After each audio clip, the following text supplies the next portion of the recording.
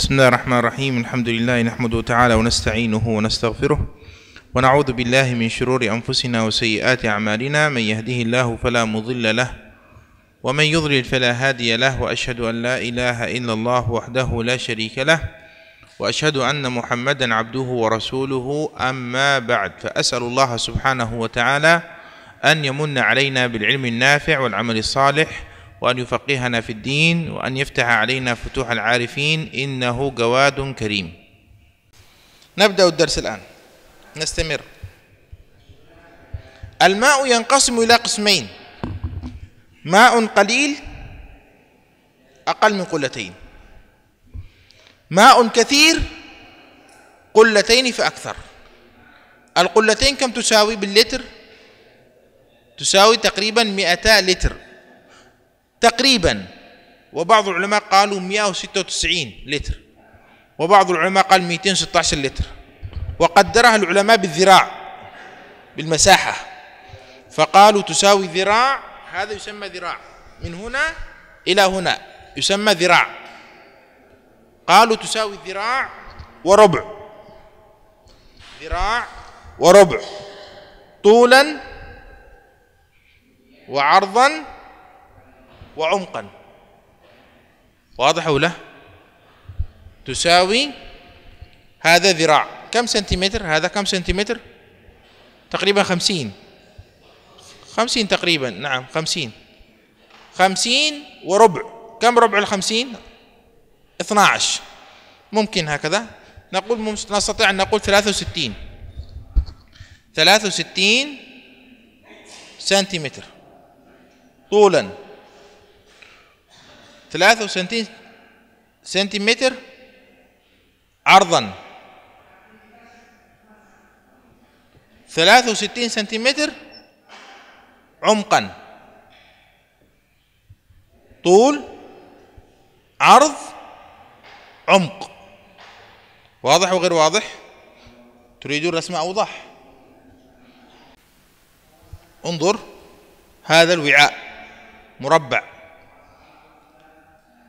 حتى أعرف هل هذا قلتين أم لا.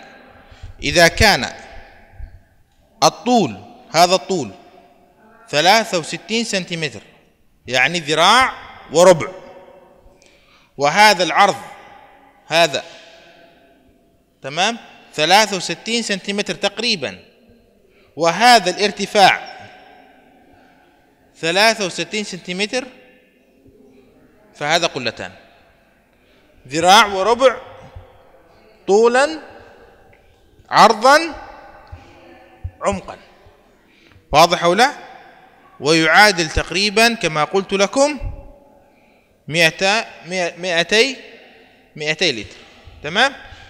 على كل حال فقط هذا من أجل أن تتصور الموضوع. لا يهم الآن.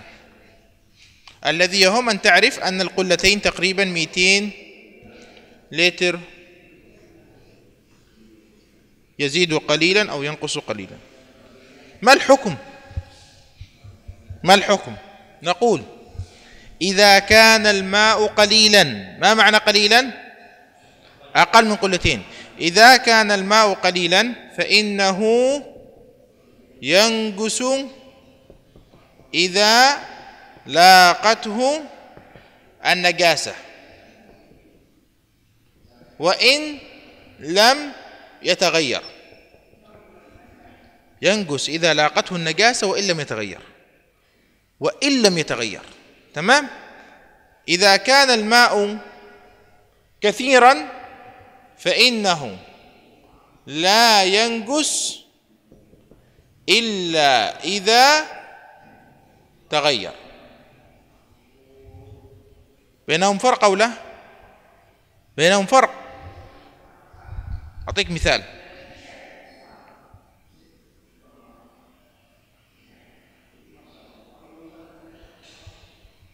هذا وعاء كبير. يوجد في هذا الوعاء مئة وسبعين لتر من الماء. يوجد في هذا الوعاء مئة وسبعين لتر من الماء. وقع فيه خمر. وقع فيه خمر. واحد أخذ خمر في كوب الخمر نجس. أخذ خمر في كوب مثلا هكذا. هذا مثلا.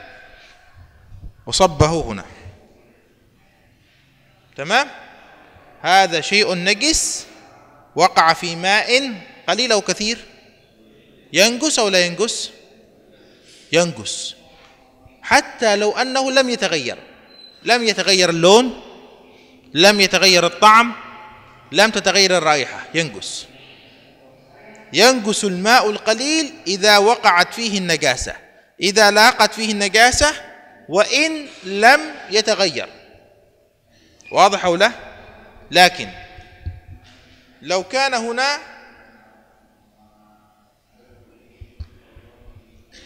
مئتان وسبعون لتر وهذا خمر. سكبنا. هل ينقص أو لا ينقص؟ لا ينقص. أو ينقص؟ لا ينقص. أو ينقص؟ نقول ننظر. إذا تغير الطعم أو اللون أو الرائحة ينقص. إذا تغير. إذا لم يتغير الطعم ولم يتغير اللون ولم تتغير الرائحة لا ينقص. واضح أو لا؟ واضح. إذا نقول الماء القليل ينقص إذا وقعت فيه النجاسة أو إذا لاقته النجاسة وإن لم يتغير. أما الماء الكثير فإنه لا ينقص إلا إذا تغير. واضح أو غير واضح؟ واضح. ماء قليل. لاقته نجاسة ولم يتغير فهو ماء قليل. لاقته نجاسة فغيرته فهو ماء كثير. لاقته نجاسة فلم تغيره فهو ماء كثير لاقته نجاسة فغيرته فهو الآن سننظر. أستاذ أبو الحسين الذي بجانبك. ماء قليل. ما معنى قليل؟ أقل من قلتين. أحسنت. لاقته نجاسة ولم يتغير فهو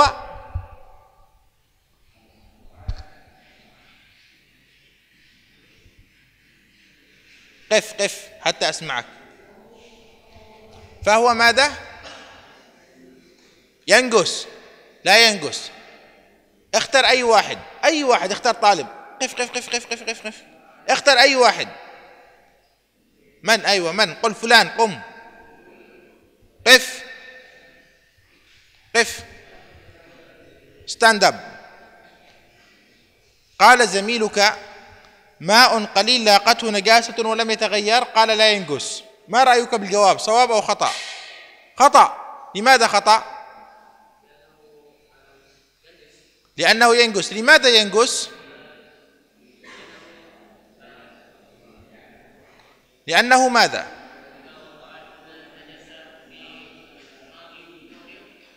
ينقص مباشرة. تغير أو لم يتغير؟ أحسنت.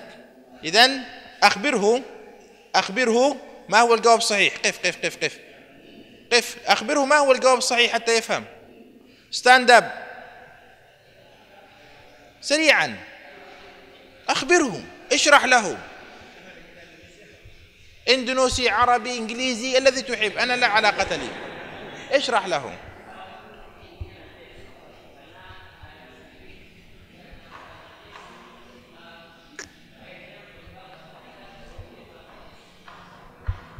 فهمت؟ تعال نفس الكلام. ماء قليل. لاقته نجاسة ولم يتغير. فهو ينجس أحسنت فهو نجس ممتاز. ما اسمك؟ فهمي. أحسنت يا فهمي. استرح أحسنت. ممتاز. ماء قليل لاقته نجاسة فغيرته. ماء قليل لاقته نجاسة فغيرته. نعم. لا أسمعك بشكل جيد. ينقص أو لا ينقص لاقته نجاسة فغيرته. أحسنت ممتاز ما شاء الله. ينقص فهو نجس. واضح؟ واضح أو لا؟ طيب الذي بعده. ماء كثير لاقته نجاسة فلم تغيره. آه. ماء قف قف قف. سريعا سريعا. ماء كثير لاقته نجاسة فلم تغيره. فهو لا ينقص لماذا لا ينقص لأنه لم يتغير وهو أحسنت. ممتاز. ما اسمك؟ سهيل. زهير. ظاهر. ظاهر. ظاهر. ظاهر. تمام. لا لا ينقص أحسنت ممتاز. ماء كثير لاقته نجاسة فغيرته. فهو فهو فهو فهو. ماء كثير لاقته نجاسة فغيرته. فهو ماذا؟ ينقص لماذا ينقص لأنه كثير. وماذا أيضا؟ فقط لأنه كثير. لماذا؟ لماذا ينقص لا ليس لأنه ماء كثير. لماذا ينقص؟ لماذا ينقص؟ لماذا ينقص؟ ماء كثير لاقته نجاسة فغيرته فهو ها؟ ينقص أو لا ينقص؟ ينقص. طيب لماذا ينقص؟ لأنه؟ لأنه تغير. ينقص.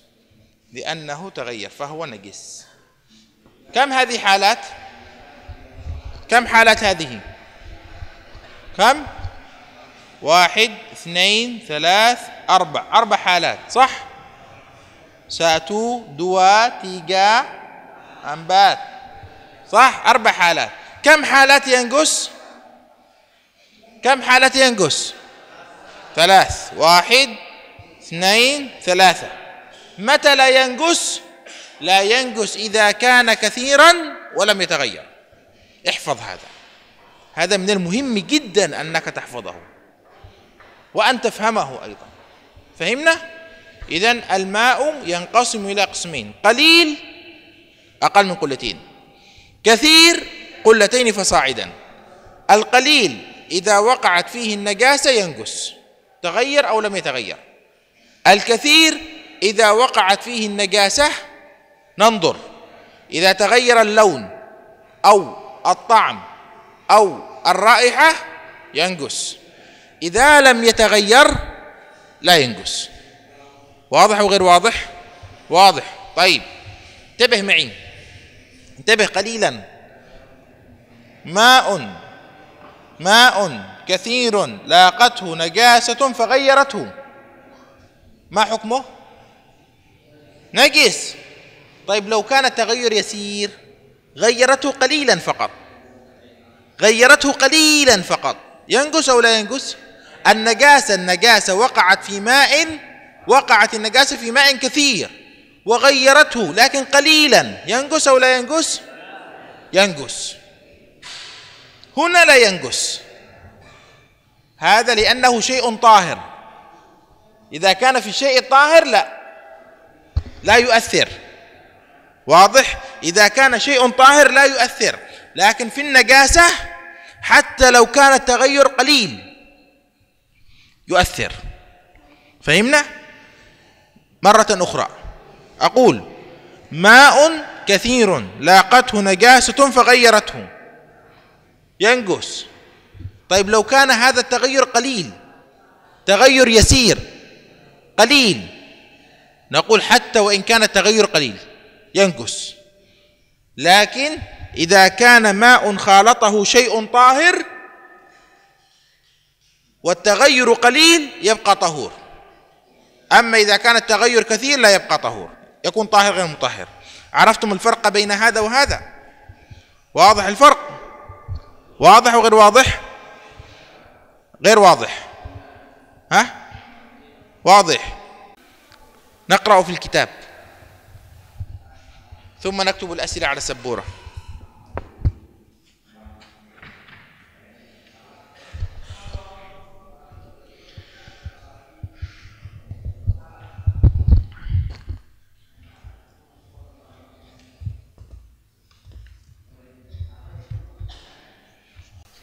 طيب.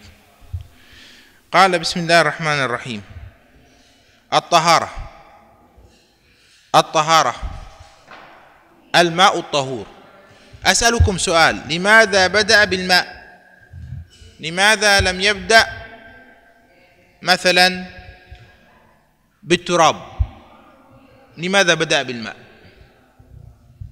لماذا بدأ بالماء؟ ها؟ لماذا بدأ بالماء؟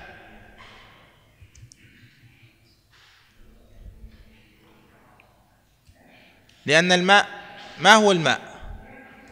هل هو من مقاصد الطهارة من وسائل الطهارة من إيش هو الماء؟ من ماذا الماء؟ ماذا درسنا؟ الماء من مقاصد الطهارة أو من وسائل الطهارة؟ من وسائل الطهارة. بل الماء أهم وسيلة من وسائل الطهارة لأن الوضوء وسيلته الماء والغسل وسيلته الماء. وإزالة النجاسة غالبا تكون بالماء. فهمنا؟ طيب. قال الماء الطهور. الماء الطهور. أي قسم؟ عن ماذا يتحدث؟ القسم الأول أو القسم الثاني أو القسم الثالث؟ ها؟ القسم الأول. يتحدث عن القسم الأول. ماء طهور يعني طاهر في نفسه مطهر لغيره. انظر ماذا قال. قال الماء الطهور. هو كل ما نزل من السماء أو نبع من الأرض باقيا على أصل خلقته. مثل ماذا؟ مثل ماذا؟ آه يمكن أن نسأل. مثل ماذا؟ ها؟ ارفع صوتك ارفع صوتك. لا يوجد في الكتاب. انظر إلي. سالم انظر إلي. مثل ماذا؟ الماء الطهور مثل ماذا؟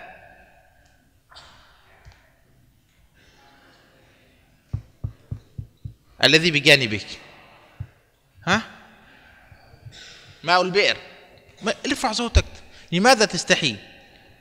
أو بالأصح لماذا تخجل؟ قل ماء البئر هكذا. هل سمعت ماذا قال؟ سمعت صوته؟ ما يقول لما يسمع ها. ارفع صوتك حتى يسمع. ارفع قم قم قم, قم. قف قف قف قف قف. قف قف حتى ارفع صوتك. الماء الطهور مثل ماذا؟ يا قل لهم. قل لهم. آه. قل لهم الماء الطهور مثل ماء قل. ماء البئر وأيضا مثل ماذا؟ فقط البئر. ماء المطر أيوة نعم. ومثل ماذا؟ ماء النهر وماء البحر أحسنت. هكذا. ممتاز. تفضل. طيب. قال هو كل ما نزل من السماء أو نبع من الأرض باقيا على أصل خلقته. ولم يتغير أحد أوصافه بما سلب طهوريته يعني هذا الماء هذا الماء نزل من السماء أو نبع من الأرض لكنه لم يتغير. لكن لو فعلت به هكذا واضح؟ تغير الآن. خلاص هذا ليس طهورا. تغير لونه هذا ليس طهورا. قد يتغير اللون فقط قد يتغير الطعم فقط قد تتغير الرائحة فقط. يكفي هذا. إلى لو حصل واحد تغير واحد يكفي بحيث أنه لا يسمى ماء. لو واحد رأى هذا أوه هذا عصير. خلاص. أوه هذا عصير. لا يسمى ماء. إذا هذا ليس طهورا. فهمنا؟ فقال لكم هنا ولم آه عفوا ولم يتغير أحد أوصافه. ما هي أوصافه؟ ما هي أوصافه؟ ما هي الأوصاف؟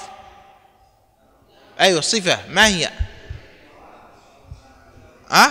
اللون أحسنتم؟ الرائحة؟ والطعم. آه انتبه.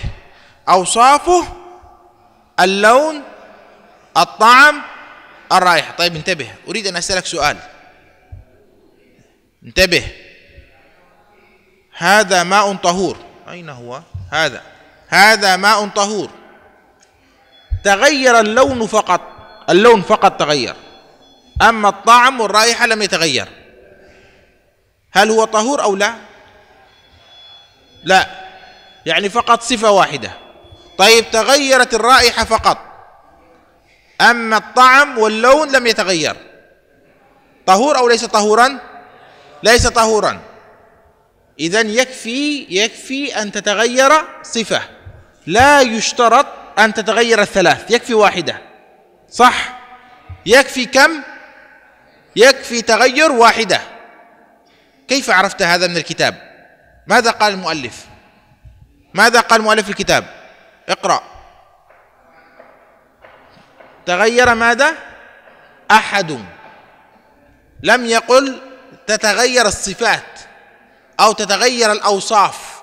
قال أحد يعني يكفي أن تتغير صفة واحدة ولا يشترط أن تتغير الصفات الثلاث. فهمنا؟ واضح؟ إذا قال المصنف رحمه الله تعالى هو كل ما نزل من السماء أو نبع من الأرض باقيا على أصل خلقته. ولم يتغير أحد أوصافه بما سلب طهوريته ولم يستعمل لرفع حدث أو إزالة نجس لقوله تعالى وأنزلنا من السماء ماء طهورا وقوله صلى الله عليه وسلم عن ماء البحر هو الطهور ماؤه الحل ميتته ماء البحر طهور. طهور طاهر في نفسه مطهر لغيره. حتى وإن كان طعمه مالح لكنه مطهر لأن الله خلقه هكذا. واضح؟ طاهر في نفسه مطهر لغيره. يصح لك أن تغتسل به من ماء البحر وأن تتوضأ به وأن تزيل به النجاسة. يصح. طاهر في نفسه مطهر لغيره. هو الطهور ماؤه. الحل ميتته. ما معنى الحل ميتته؟ أي إذا ماتت أي إذا ماتت. الحيوانات التي لا تعيش إلا في البحر مثل السمك. فيجوز لك أن تأكلها حتى وهي ميتة. واضح؟ يجوز أكلها حتى وإن كانت ميتة. تمام؟ قال الماء النجس. عفوا مرة أخرى قال ولم يتغير أحد أوصافه بما سلب طهوريته. انظر. قال ولم يستعمل لرفع حدث. لم يستعمل لرفع حدث. ما هو هذا الماء؟ ما هو هذا الماء؟ في السبورة. ما هذا ما اسمه هذا الماء؟ ولم يستعمل في رفع حدث أو إزالة نجس. من قال ماء المستعمل؟ من قال؟ أحسنت ممتاز. هذا الماء المستعمل. ما هو الماء المستعمل؟ هو الماء الذي استعمل في رفع حدث أو إزالة نجس. يسمى ماء يسمى ماء مستعملا. استعمل في رفع حدث أو إزالة نجس.